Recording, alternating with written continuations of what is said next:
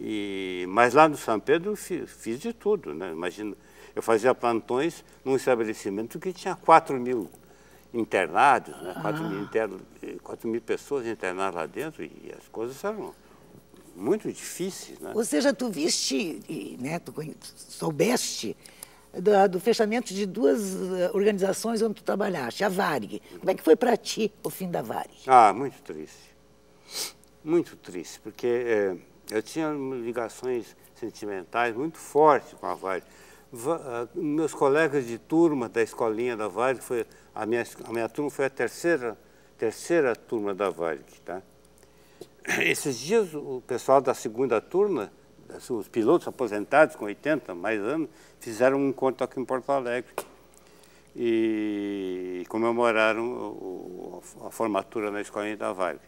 Então, meus colegas da Vale eu mantenho, eu mantenho amizade até hoje. Há, há uns, uns anos atrás, fizemos uma reunião lá em casa, casa que tu conhece, né? Na reunião apareceram 15 colegas. Depois reunimos no Vale dos Vinhedos, depois reunimos lá em, em, no interior de, lá em, em interior de São Paulo, na, na, na, onde um colega da Vale tem um sítio. Então, eu ainda mantenho relações de amizade fraterna com aqueles meus colegas ainda vivos da, da terceira turma da, da, da Escola Varig da, da E algum deles é vítima dessa situação atual da, da... Todos. Menos tu. Menos eu, porque saí. Saiu antes todos, todos, todos com, com a quebra, com, com a quebra da Eros, eles dependiam de, da Eros, né? Com a quebra da Eros, eles, eles ficaram, se bem que alguns, alguns se, se capitalizaram, compraram imóveis, compraram apartamentos, casas, guardaram dinheiro em poupança e tal. E, mas alguns que não fizeram, não previram e nem podiam prever a quebra da Eros, eles hum, não estão bem, não. Outra instituição que, de certa forma, fechou foi o São Pedro. Para ti foi uma Isso. boa? Também, o São Pedro, São Pedro realmente eu trabalhei, trabalhei uns oito anos no São Pedro como, como enfermeiro e depois passei como médico, tá? Que estágio tu fizeste como médico? Eu passei a trabalhar como médico, como ginecologista, ah. na divisão Kreplin, onde tinha só mulheres, tá? E aí passei a ser ginecologista da, das internas do São Pedro. Uhum. E aí trabalhei em... No total, trabalhei uns oito, nove anos no São Pedro. Tu começaste a trabalhar para seguir o teu irmão. Quer dizer, começaste com o teu Sim. irmão. Mas, de repente, tu fizeste parte de uma outra equipe, que era uma coisa nova em Porto Alegre também. Um, um grupo de médicos fazendo uma clínica que chamava Mulher. Aí o teu irmão não estava mais. Não, não, não. Porque aí meu irmão já, já, já começou a limitar a atividade dele e tal, e, e começou a se interessar por outras coisas. Ele foi administrar uma empresa do sogro dele no interior, né, uma grande empresa e tal, e eu então uh, convidei quatro, cinco colegas para abrir uma clínica. A iniciativa foi tua? A iniciativa foi minha escolhi os colegas, escolhi o local, Luciano de Abreu, um edifício que está em construção, nós compramos todo o andar, e lá nessa clínica eu trabalhei 20 anos, até me aposentar. Clínica Mulher, também tem excelentes memórias. E tu deixaste de trabalhar por quê na medicina? Porque eu passei a gostar mais de ler e de escrever do que de trabalhar. Ah, tá bom, tá bom.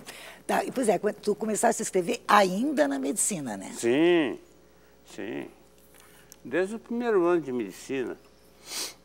Desde o primeiro ano. Porque eu tinha aquela experiência de, de, de ginásio do, dos padres. Eu fiz ginásio na Anchieta, tá? Padre jesuíta. Peraí, mas onde é que entrou o Julinho, então? Tinha experiência... Científico. Do Julinho, tá? Quem é o professor de português? Quem era? Do Julinho? É. Era Pode ser Adeli? Não. Ah, não. Pode ser. Era muito simpática. Era. Uns anos atrás também encontrei com ela bem. Eles velha. tinham uns professores maravilhosos. Agora tu falaste. Depois foi o professor uh, Alvarez. Uhum. De Química era o Abílio Diniz, grande figura. De, de, Química Orgânica. Química Inorgânica, Alta Alpa Sibilos. De Física era o, o? Steinbrück. Steinbrück? E de matemática era uma, o Melo Maluco. É, Fantástico o Melo Maluco. Tá, Não era, não era desse mundo. No, no, no Anchieta, tu já estava escrevendo, ou seja, tu tirava 10 nas redações, Sim, o que me salvava, a média, minha média sempre eu levava nas redações. E no vestibular também. No vestibular tinha, tinha, tinha uma redação também. Eu, eu entrei porque eu fiz exame de física de química direitinho, mas não sei se foi muito bem. Mas a redação foi 10. Imagina, mandar, o tema foi reforma do ensino. A Anísio Teixeira e o Darcy Ribeiro, né? É. E eu, como politicamente sempre engajado, como sempre fui, sabia tudo. Né? Fiz uma redação em 15 minutos. Gostaram muito. pois é, politicamente engajado. O Júlio deve ter sido importante nisso. Sim, sim, porque eu saí de um colégio de padres jesuítas extremamente severos, conservadores, eles eram quase todos alemães, de origem alemã, tá? E aquela disciplina rígida, né? católicos e tal, e fui para um colégio né? eh, laico, não é? extremamente liberal, e com professores das mais diversas orientações religiosas, políticas e ideológicas. Né? Ah, uma, uma, uma farra, uma beleza. Uma beleza. Conhece esse professor Melo? Sim. O Melo tocava violino, tá? um concerto de violino no fim do ano, tá? Não tocava mal, mas a gente aplaudia freneticamente. E ele chorava. Coitado do Melo. Pois é, nessa época o Júlio tinha grupo de teatro, Sim. tinha grupo de, de, de oficina de literatura. tinha- Política, o Grêmio Estudantil era cheio de político, Pilavares, Isso. Garcia, eh, Flávio Couto. Felizardo. Tudo. Tá, tu, és, tu te engajaste o quê? Nesse, nesse gabinete que fazia política, no gabinete que fazia literatura, no gabinete que fazia teatro. Literatura e política. Bom, tu disseste que ela estava escrevendo então. Tá. Aí tu foste para medicina e seguiste escrevendo. E sempre, sempre, sempre inclinado para o ensaio? Inclinado para o ensaio. Para o ensaio. Não. Algumas histórias, tem algumas histórias aí. É, é que eu estava explicando para a Paula, a to- a produtora. É, o negócio é o seguinte. Por que, que tem tanto médico escritor? Engenheiro? Não tem. É, arquiteto? Não tem. Arquiteto faz música, Excelente faz teatro. arquiteto, excelente engenheiro, mas não escreve. Empresa, grandes empresários de sucesso, né, não tem. Agora, médico tem, tem, muito, tem muito escritor. Por quê? E principalmente na área psiquiatria. Parabéns no Rio Grande do Sul, por exemplo. Ciro Martins, Dionélio Machado, eh, Moacir Sclier, para citar três, três Que não era psiquiatra, Sclier. três grandes escritores, tá?